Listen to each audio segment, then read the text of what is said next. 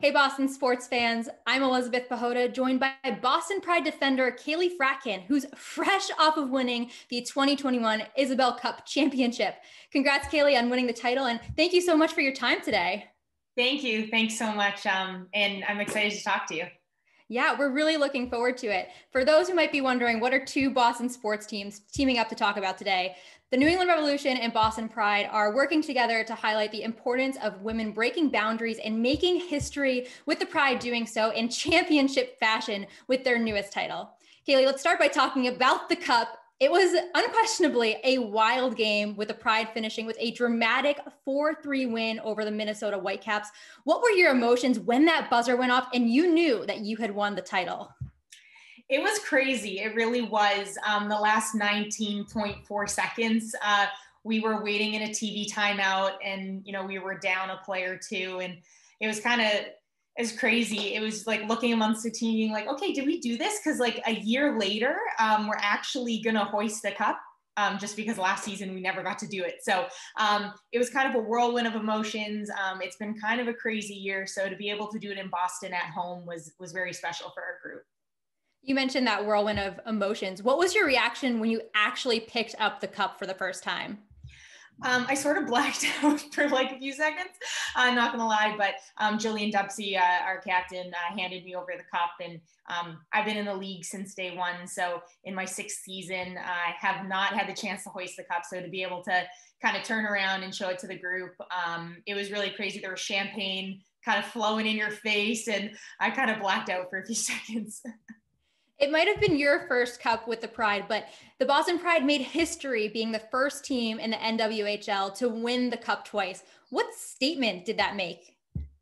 It was a big statement. Uh, this organization has made a lot of strides uh, since year one, and this, this league has as well. But uh, Boston has always prided no no pun intended but it's been prideful been prideful in um you know kind of the the um the the statement that we make on the ice and kind of how we carry ourselves in a professional manner. And we want to be a winning organization. And i think year one they were able to do that um, with a powerhouse team. And then you know kind of the years after that um, they weren't able to, to pull through on any championships. So to be able to kind of build from what we did in year four um, up until this year and, and hoist the cup doing so, um, I think really made a statement for the league and um, putting Boston kind of back on top for uh, that winning culture and that winning environment that we want to have here in Boston it truly did make a statement to Boston as well. And you've had an opportunity to bring the Isobel Cup to the Boston Celtics, Bruins, and you're going to a Red Sox game, from my understanding, later this week, and hopefully a Revs match when the season officially starts. As Boston sports teams take part in celebrating your championship, how strong is the camaraderie between the sports teams in the city? It's really special. Um, I was actually just saying this to someone the other day that, you know, I don't I don't know if any other team in the NWHL, if they were doing it in their markets, may have gotten the same camaraderie that we have had in here in Boston. I think it just speaks volumes to um, the love of, of, sports around here. And um, I think it's been really uh, awesome for us, um, especially as, as players, to see the other sports teams. We're the only female professional sports team here in Boston. And so to see, um, you know, your organization and every other organization kind of uh, open us or uh, embrace us with open arms and um, you know congratulate us for for winning a championship. Um, it is cool. It's special. Um, I think it's something that a lot of us i'm i'm almost i'm not a boston native but i've been here for for a number of years now. And um, it's pretty special when you're going to these different sports um, sports events and you know you're walking out of the stadium or we are walking out of the bruins game and people are like oh my god boston pride like stop we want to take a picture with you guys in the isobel cup. And you know that's something that um, we've never really had before. So um, it, it's been really a fun experience how strong did you feel like a celebrity in those moments? Like, were they pinch me moments?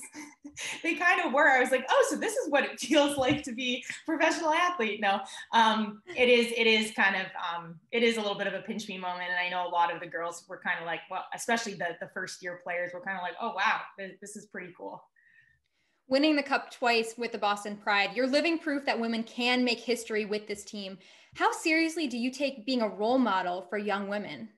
Very seriously. Uh, when I was growing up, I had um, I played because I had two older brothers that played, and mm-hmm. I never had um, really strong female role models. There definitely were females playing, and I looked at players on the national team and things like that. But beyond um, beyond that, there wasn't kind of a place where you could play after college, and um, it kind of really dawned on me when I was a sophomore in college at BU, and was like, what what do I do after this? If I I was with the Canadian national team at the time, but I was like, if I don't make a team, you know, am I done playing hockey? And um, I just remember uh, when I was younger, I kind of always wish I had that role model that I could look to, and um, whether it was in hockey or outside of hockey, and just in life, to be able to kind of help me make decisions, and and and that's something that I you know take a strong pride in. I, I coach the Weymouth girls ice hockey team or um, high school hockey team, and um, those girls have been crazy fans of ours, and a lot of them had said like, you know, I want to play hockey beyond um, beyond high school, and I want to play beyond college, and maybe one day play in the NWHL, and so for me, that's really why, you know, I play and a lot of my teammates play is so we can pave the way for those young girls to, to give them a place to play um, competitively through hockey. And have a goal and strive for it. And, um, you know, who knows, one day they could be in our shoes your team are, are truly role models for women that are looking to continue to break boundaries in sports. Switching gears a little bit, I know that you're Canadian, so you've seen the success of the Canadian women's national team with regards to soccer and also the dominance of the US women's national team. How inspiring is it to see these female athletes breaking boundaries in soccer as well? It's been amazing. I mean, they are definitely role models for myself too, outside of kind of the hockey game. Um, I always followed along the Canadian national team, like Christine Sinclair growing up. You know, there was always some some really powerhouse female players kind of right right in my area of Burnaby, British Columbia. But um, when I moved here to the US, um, you know, I saw some World Cup games and I was like, holy moly, these girls are so good. And just to see how so many pe- people support um, and they're supporting you know the women's game they're supporting soccer and um, for me um, you know the Mewis sisters here um, seeing them on the national team being boston players i'm big fans of, of watching them. Um, my teammates some of my teammates uh, were working out with them um, in the gym too so to see kind of the athletes that they are and you know it, it's it is so important that it's in all sports across the board and to see what they're doing and breaking boundaries in their sport um, you know, I support them. And I know when we were in the bubble, we had a lot of different, you know, WNBA, different sports kind of reach out and NWSL as well to, to reach out to support. So um, we're all in this together as female athletes um, at the professional level. So um, yeah, I'm a big fan. I was never very good at soccer, but I played and I was a sweeper, played a little outside mid, but I was never a goal scorer by any means. You're a national champion. I bet you're underselling yourself there. Not quite. Kaleigh, thank you so much for your time. We really appreciate you speaking with us. And we look forward to having you and your teammates out to a Revolution game soon. Thank you. Thanks. Looking forward to it.